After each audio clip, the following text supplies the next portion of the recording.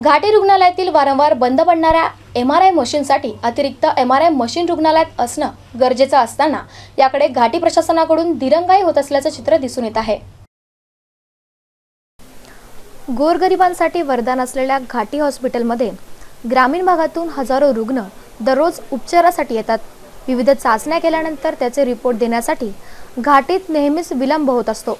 त्यामुळे रुग्णांना पुढच्या उपचारासाठी वाट पाहावी लागते. रेडिओलॉजी विभागात रुग्णांची बाराही महिने गर्दी असते. CT scan M R I X ray यासाठी दैनंदिन गर्दी असते. कधी कधी तर एम आर आयसाठी वेटिंग लिस्ट असते. पण कधी कधी तांत्रिक बिघाडामुळे मशीन बंद झाली की रुग्णांची गैरसोय होते.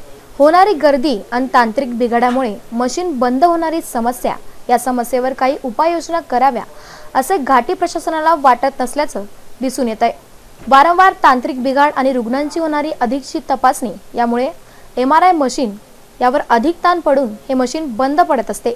याची माहिती असताना अतिरिक्त एम आर आय मशीन रुग्णालयात असणं गरजेचं असतानाही याकडे दुर्लक्ष का केल्या जात आहे हे मात्र समजू शकलं नाही आहे